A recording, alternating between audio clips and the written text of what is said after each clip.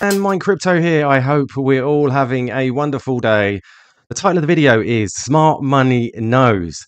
Please remember, I'm not a financial advisor and none of this is financial advice and none of the information provided in this video should ever be seen as a signal to buy or sell. Remembering, please subscribe, hit that notification bell and hit that like button so that you don't miss any further videos. But first and foremost, as we normally do, we look at these crypto bubbles and wow, it's looking green. And we just found out that Bitcoin has just secured that 1 trillion in market cap, which is um, unbelievable, which is great. Have we started in the bull market?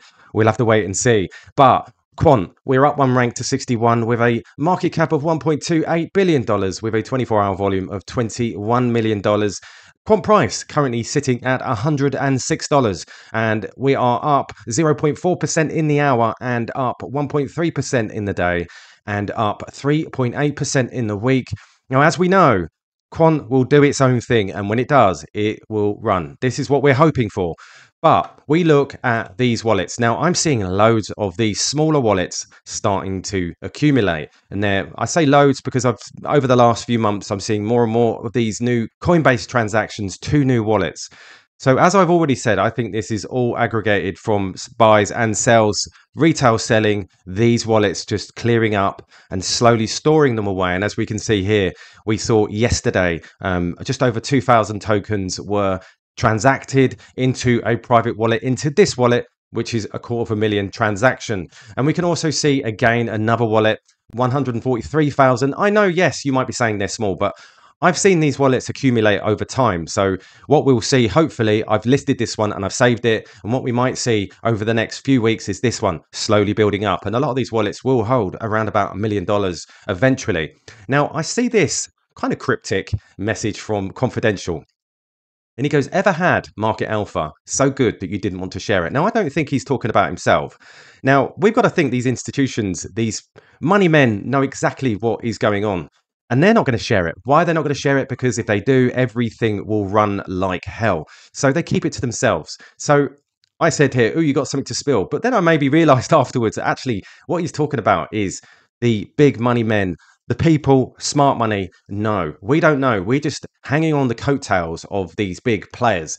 And we see this. Now, this is a big player. I talked about this yesterday. And what I'm noticing here is every one of these coins produce some sort some form of interoperability bridging in some ways we've got link we've got quant we've got mnw we've got rue all providing access or some interoperability between blockchains which is what is needed. And we look at Lambo for food stamps. Most blockchain companies can only do one of these. Overledger allows you to interoperate and flexibility. And we see here this info diagram, which is very, very important. But what's very important is this tokenization won't be the future if there is no interoperability. This is where it brings legacy, fiat money into blockchain. You've got to understand this. For this to happen, there needs to be a layer of security. And that's what Quant brings. And we see here tokenization won't be the future if there is no interoperability. JP Morgan Coin, HSBC Orion, Citi Token Service, UBS Tokenize. The list of institutional tokenization products goes on, whilst they all perform certain functions for their creators. And this is absolutely true. This is why I believe in interoperability. We've got to look at those channels that allow legacy in, first and foremost, for tokenization, for all these other things that we're hoping for. Now, I see this from Miles Bron. He says token performance, yes, is poor with Quant. Let's be honest. However, I'm not buying Quant for the bull run, which he's talking about this bull run.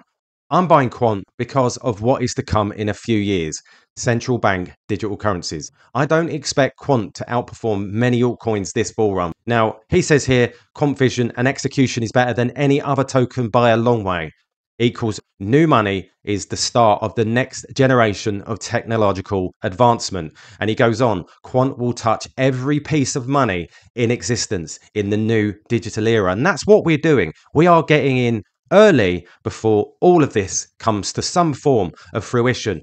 And we see this from Greg Lunt.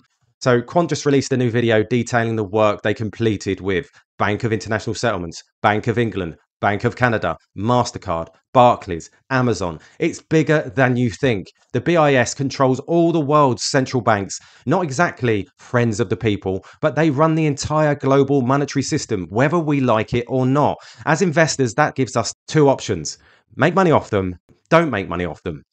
Personally, I prefer one. Stick with me here. Interoperability. There's that key word again is the ability for total different systems to share data in real time. It's what lets an iPhone on Verizon talk to an Android on AT&T or to a laptop using Comcast. Text, pictures, videos, etc. Seamless interoperability. But data transfer alone isn't enough for digital money. With money, there needs to be proof of ownership. Otherwise, there can be no trust in the system. The BIS is creating CBDCs Programmable money issued by governments controlled by the elites.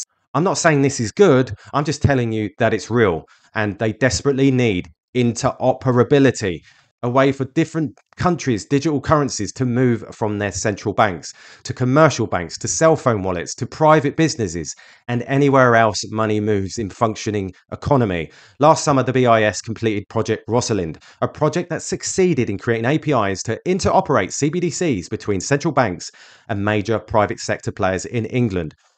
A working system for government digital currencies, and the whole thing was built on Quant.